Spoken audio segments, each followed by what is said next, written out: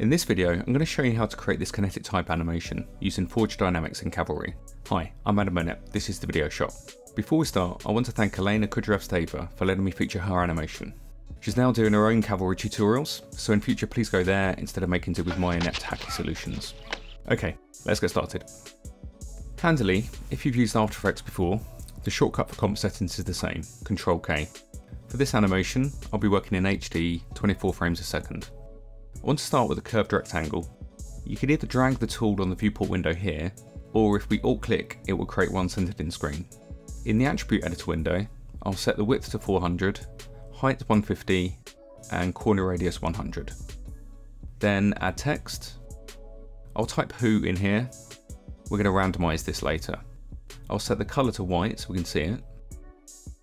I'm using Futura LT book, size 90, and have it center aligned. Then I'll pull up the align window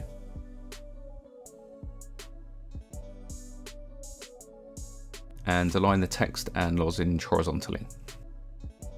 Then right click on those two layers and group selected. I'll rename the group because we always work tidy. Speaking of which, I'll also rename the comp up here.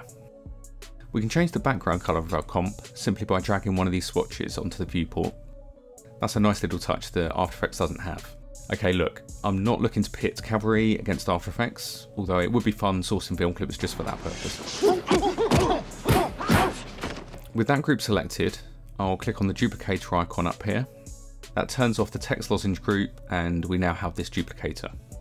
Set the distribution to random and adjust the size to 2000 by 1000, which basically covers these HD comp dimensions. I'll leave the count at 50 for now. Let's talk colour. When you start for Technicolor up there.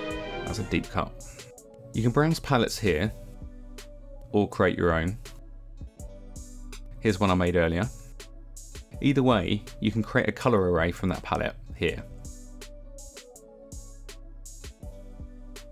Now we can randomise the colours by connecting the colour array to the colour of the rectangle shape. Then we'll use a similar process to randomize the text. Click here and type string in the search bar, and then we can add a string array. I'm going to type who, then add the remaining words that I want.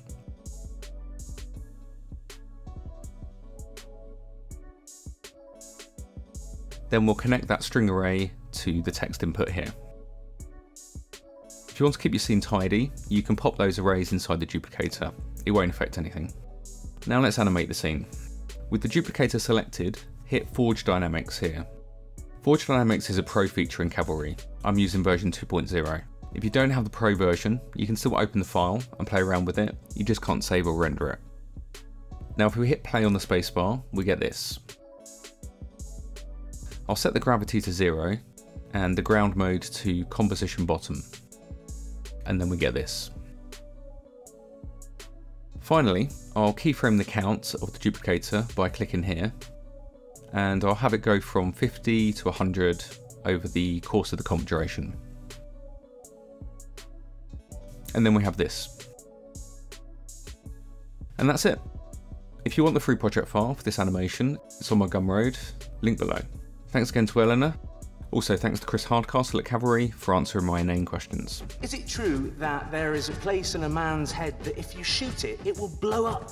I hope this was useful. Thanks for watching. See you again soon.